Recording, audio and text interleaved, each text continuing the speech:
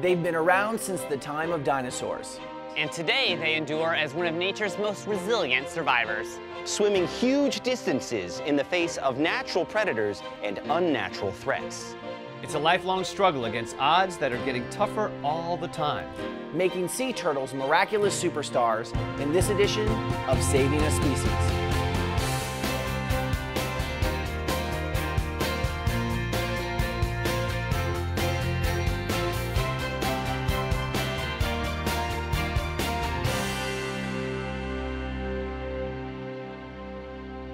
Welcome to Saving a Species. I'm Bill Street, and you're about to meet one of nature's top survivors, the sea turtle. To help us fully appreciate these amazing animals, we've put together a top team of experts who aren't going to just introduce us to sea turtles, we're going to try to experience a little bit of what life looks like from a sea turtle's perspective. Let's start with Chuck Heroux, who's joining us from Fort DeSoto Beach on Florida's Gulf Coast. Hey, Bill, this stretch of beach is a known sea turtle nesting area, and fortunately, it's also a protected wildlife area. So park rangers do an amazing job of guarding the nest and ensuring turtle survival. But even with all of that, sea turtles face some pretty tough odds, especially at the nesting stage. So we wondered what could happen to a sea turtle's nest during the course of 48 hours. To find out, we set up a simulated nest monitored by a hidden time-lapse camera. Whatever happens, we'll show you the results later in the show.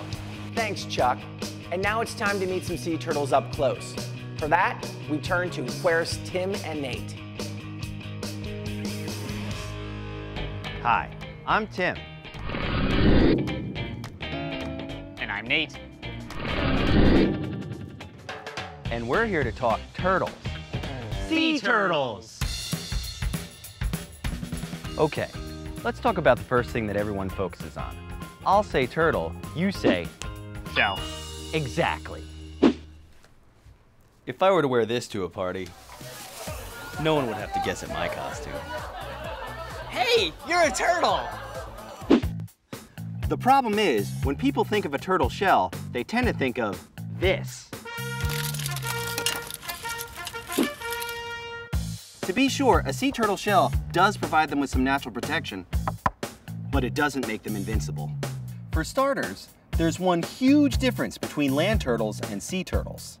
Most land or terrestrial turtles can withdraw inside their shell for protection.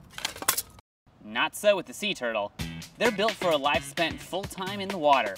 And with flippers instead of legs, the limbs stay fixed outside of the shell. It's the same thing with sea turtles' heads, non-retractable. All this helps to make them great swimmers, but also makes them more vulnerable than their land-bound relatives. But sea turtles aren't just different from land turtles, they're also different from each other. You know, some folks think there's only one type of sea turtle, but that's not really true. You've got your loggerhead sea turtle, your leatherback sea turtles, and then there's the Ridleys. Kemp's Ridley sea turtle, Olive Ridley sea turtle. I'm kind of partial to the green sea turtle. You've got your hawksbill sea turtle, your flatback sea turtle.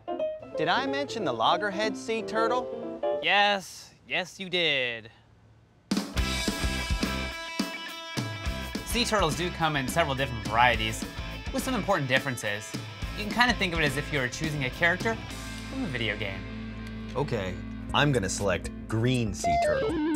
If you look at the design of the shell, The top side of the shell is called a carapace. that's right. If you look at the carapace, you'll notice all these cool hexagonal plates. Those are called scutes. Correct. And the carapace with all those scutes creates a very hard shell. But check this out. This is the leatherback. This guy doesn't have scutes at all. Instead, he's got ridges. Also, the carapace is softer. Like leather. Now, if you were choosing your turtle for body armor, you'd probably pick the hard shell of the green sea turtle, right? Right. But not so fast. The reason the leatherback's carapace is different is that it's really thick and provides excellent insulation. This lets the leatherback travel to much colder waters than other sea turtles. And the leatherback is the largest of all the sea turtles. They can get as big as 70 inches, around 2,000 pounds. But then look at this. The olive ridleys, they're the smallest of the sea turtles. Only about 20 to 30 inches and around 100 pounds. Huge difference there. Also, each of the sea turtle species has their own unique adaptations. Like the hawksbill turtle, This guy's got a narrow head and a hawk-like beak that he uses for picking food like sponges from narrow crevices and coral reefs. That's a very cool profile. Hey, just thinking, we're talking a lot about the differences. We probably ought to talk about what sea turtles have in common. You know what that means. Yeah, it's time to go prehistoric.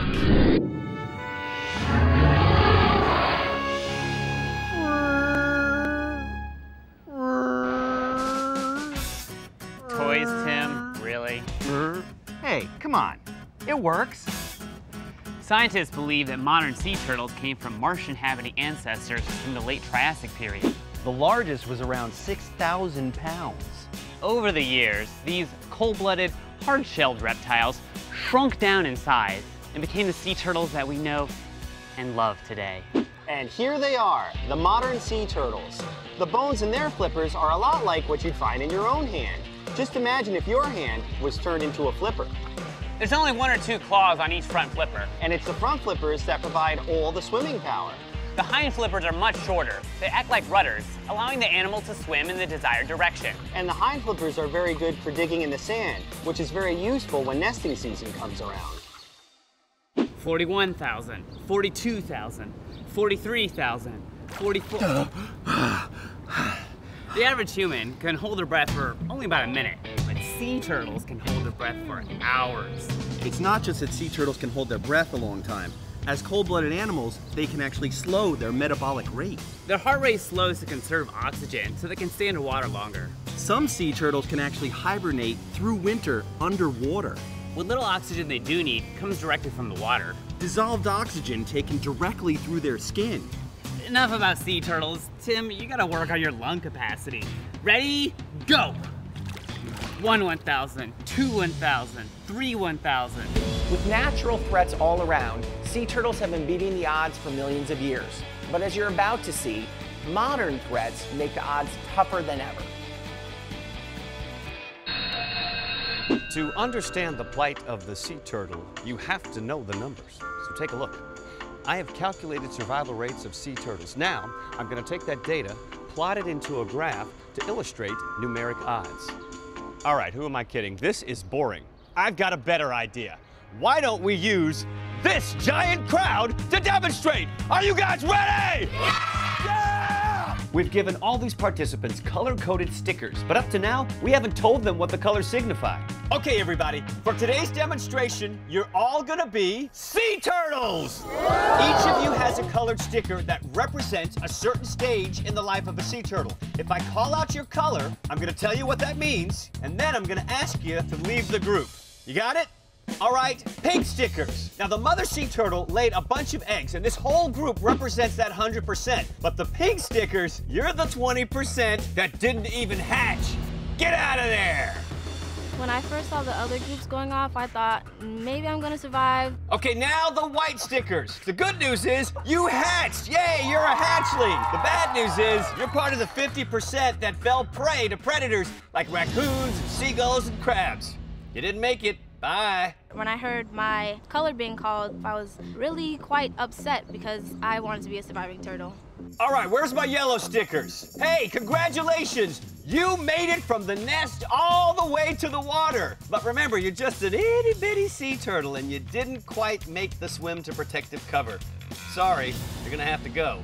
All right, Blue Group, congratulations. You've made it pretty far. You've reached adulthood. But don't celebrate too much because it's a big, huge ocean and there's predators out there. You didn't make it either. And now for the green stickers. You guys are pretty tough, right? Yeah, but you forgot about the human factor. I'm talking about beach development, habitat destruction, pollution, fishing nets, fishing lines. You're gone. And the purple sticker. Now, of our original group, that 100%, you are the surviving 1%. Congratulations, you made it. Realizing that such a low percent of sea turtles live was really crazy. To know that such a low percentage of them actually survive is very devastating. Only about 1% of the eggs that are laid in a sea turtle nest survive. For the most part, when sea turtles are laying their eggs on the beach, that's where the danger really starts. So check it out. This stretch of beach is a well-known sea turtle nesting area. But what's unusual about it, it's a public beach, but it's also a county park. Hello. So park rangers are able to identify the nest early on and guard them with protective barriers just like this. Here's why that protection is so important. When a turtle digs its nest, it'll dig a deep hole for the eggs to drop into, and then it's going to carefully cover up the hole. Then the nest is left unprotected until the hatchlings emerge. To find out what could happen to an unprotected nest, we've designed a small experiment. First, we've identified a natural nesting area. Next, we dug three holes of our own, simulating actual turtle nests. To make the nest as real as possible, we placed fresh chicken eggs in each hole. So now, it's time for the hidden cameras. Come on, man, tell me what's going on. We got three cameras, one up in the tree, two on the ground, all equipped with night vision capabilities. So if a human or a predator was to come near, we should be able to capture it all on film. The question is, what will become of our nest within a 48-hour period? We'll find out in a minute. But first, let's look at what happens to the turtles that do make it out of the nest. So, think about it. You've just broken out of your shell, you're shaking off all the sand, and now you're ready for your first swim. But then comes the welcoming party! Ah! Little hatchlings are easy pickings for birds, raccoons, crabs, and just about any predator with a taste for turtle. For the hatchlings that do make it to the sea, they kind of disappear into the unknown. They actually head offshore for habitats that are basically floating rafts of seaweed well offshore. Surviving young sea turtles will eventually swim farther out, but what happens next is pretty intense. So check it out. Imagine you're a sea turtle just minding your own business, swimming along, blah, blah, blah, blah, blah, and then BAM! It's as if I was kind of caught up in a really strong gust of wind. Only for the sea turtles, they're often caught up in a powerful offshore current. And once they're caught up in this current, it's a wild ride. Sea turtles travel these currents on migrations that can cover thousands of ocean miles. Okay, now take a look at this. It's data on a single green sea turtle. We'll call her Turtle X. Over the years, scientists have tracked sea turtles like Turtle X. And while these coordinates might seem a little bit dry, let's take a look and see what happens when we bring those numbers to life. Turtle X started here on the southeast coast. From there, she swam to the Azores. Her total round trip journey ends up being kind of like if you walk from New York to Los Angeles and back again. Now, without a doubt, it's a remarkable migration, but none of it can take place if the turtles don't make it past the nest. Let's take a look and see what's happening with our simulated nest experiment.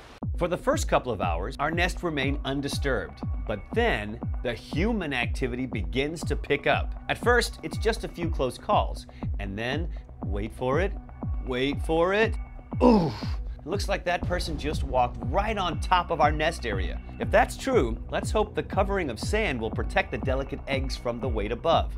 Now, if this was just one isolated incident, perhaps our nest would be spared. But during the course of our 48 hour test, a large number of people walked unwittingly right on top of our unmarked nests. You can only imagine what's happening to the eggs below. As the sun goes down, we're fully prepared for an even bigger threat to egg survival nocturnal predators such as raccoons and crabs. I was camped out nearby the nests and I could hear the raccoons around me, but I never actually saw them come near the nest. Our Nest 3 camera did catch this one crab nibbling around a bit, but that's the extent of predator activity. However, come day two, the humans are out in full force and all over Nest 1 and 2. Only Nest 3, built farther into the seagrass, goes completely untouched. Now, as we excavate the nest, we're anticipating that we're probably going to come across some losses here. Let's check this out. Look here. This is an egg intact. Now that's a really good thing, really good thing. Oh, yeah. Look at this. Can you see that? Yeah, definitely some losses here. Not good, not good at all. Well, it's only been 48 hours and, and this is what's happened, so it kind of gives you an idea what would happen over a multi-week period. Again, this particular beach is a county park. An actual nest would have been identified and protected. It shows that having more wildlife refuges like this one is vital if we're to help sea turtles overcome the odds against them. Now, in carrying out our first experiment, we came up with a whole other question. That is, what's it like for a sea turtle to crawl from the shore to the nest? Well, there's only one way to find out, and that's to be a sea turtle. I'll explain when we come back. Young sea turtles are highly vulnerable to predators and human threats, but they're also susceptible to weather. In the winter of 2010, a prolonged period of extreme cold threatened the survival of hundreds of sea turtles in Florida. Avoiding all-out disaster would require the kind of effort and dedication that can only be described as heroic.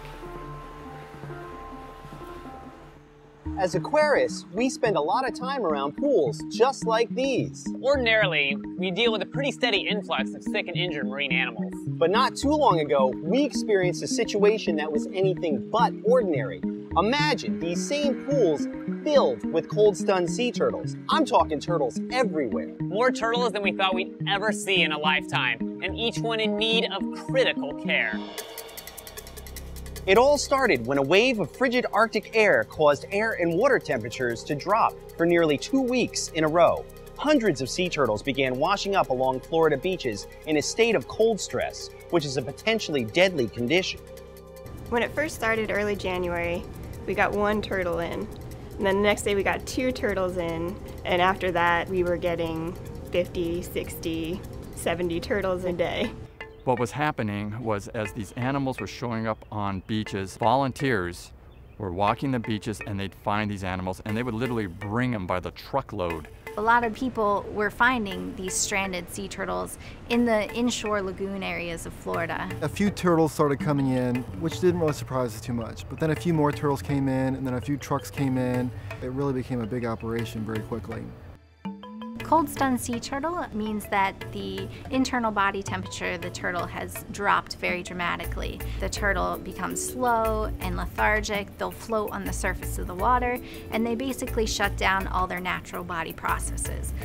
In this event, we saw juvenile green sea turtles, and then we also saw very large adult sea turtles that we normally wouldn't see in this time frame.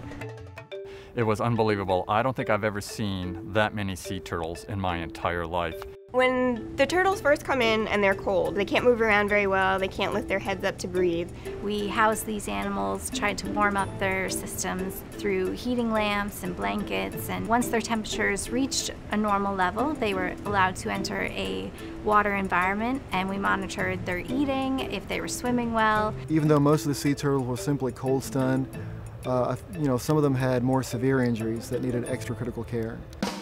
The first two weeks, we didn't take any days off at all. We were just here all the time. We were kind of working around the clock in shifts just to manage all the sea turtles that were coming in. We would work about 15, 16 hour days some days and wake up and do it again the next day. We normally we have a few people that are dedicated to sea turtles, you know, 24-7, 365 days a year.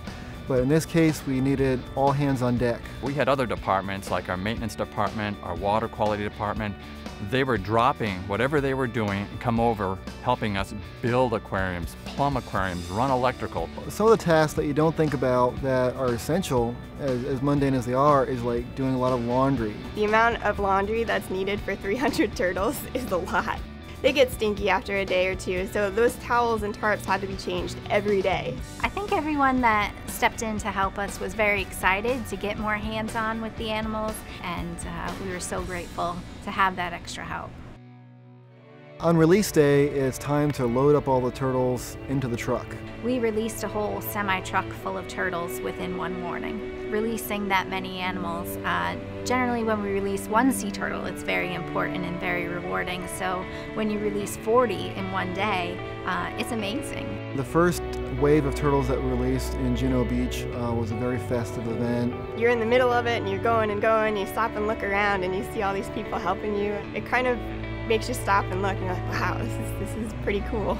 The upside of this incident was that we got to tag a lot of sea turtles that we would have never gotten to tag before. It gave a great deal of information as to where turtles are this time of year, where they might go, and in the future, if we encounter them, uh, where they've been and a history on them.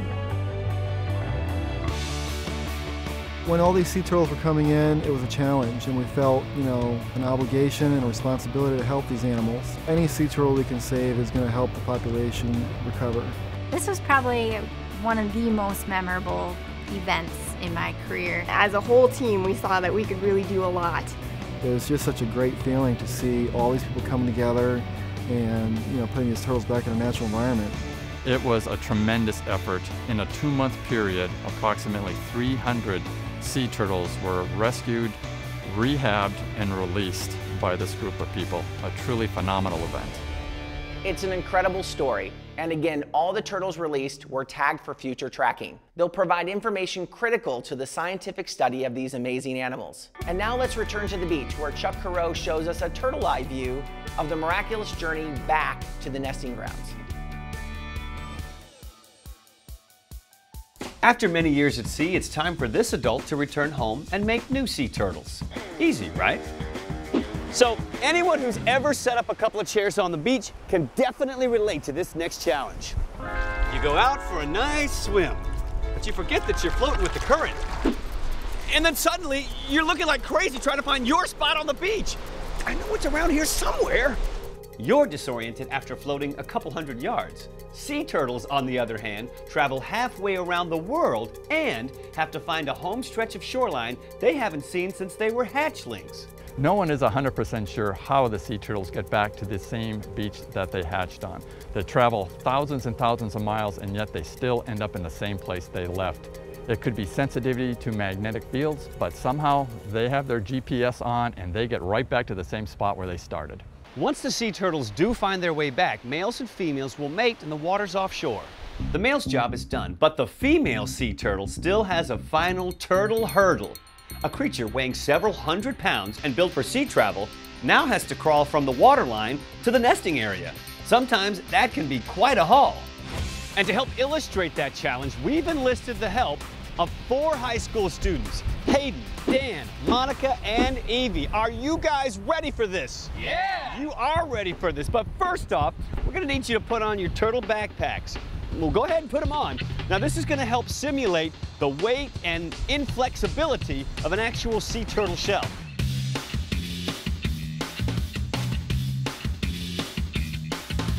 All right, guys, looking good, looking good. Now, get this.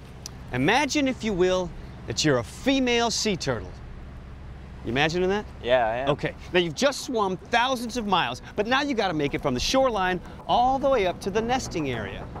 You've got to do that, but not with your legs. Lay down on the ground, belly down. All four of you, come on, belly down, all the way down. Now, on your mark, get set, go!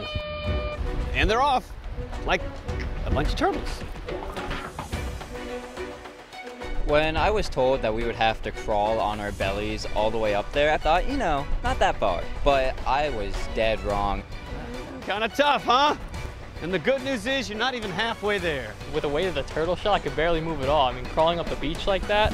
And it looks like Hayden has taken a lead, but Dan is not too far behind him just by a flipper. It was tougher than I expected it would be. Push, come on, give it all you got. You got tired about halfway up the beach. I really didn't think I was going to make it. You got it, Evie. It worked every muscle in your body. Really hard. I don't know how turtles do this. Four years of band camp couldn't even compare to this.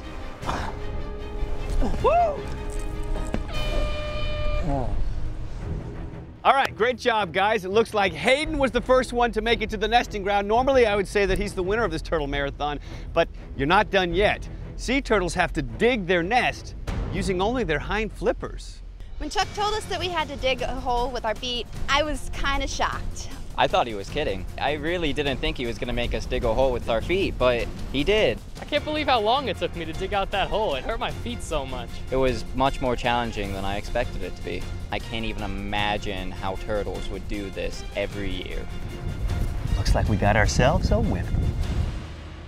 All right, great job, team, but it looks like our nest digging champion today is Evie. and the rest of y'all were pretty good. But now I've got a question for all of y'all. Seriously, who has a newfound appreciation for sea turtles? Well, I don't think we're going to have any annual sea turtle crawl marathons, but we did do what we set out to do. I think everyone's got a better understanding of just how tough and tenacious sea turtles really are. As we've seen, sea turtles face tough odds no matter what. But now, with so many humans encroaching in sea turtle feeding and nesting areas, the odds could be just about impossible. Julie Scardina joins us to show how humans could be the ruin or salvation of endangered sea turtles. The beaches of Nicaragua provide prime nesting areas for sea turtles. But many beaches are far from safe havens. We're on the beach in Nicaragua. We've been here all night. It's 8 o'clock in the morning, and the hatchlings are still coming out. This is a brand new nest, probably a 100, over a 100 eggs in there, and all these little guys are trying to make it to the ocean. To keep these hatchlings away from hungry daytime predators, we'll protect them for now, and then release them once night falls. This should at least give them a fighting chance. However, here in Nicaragua, as in many beaches around the world, natural predators are only part of the problem. With so much poverty and hunger in the world, sea turtles and their eggs are frequently harvested illegally in a practice called poaching.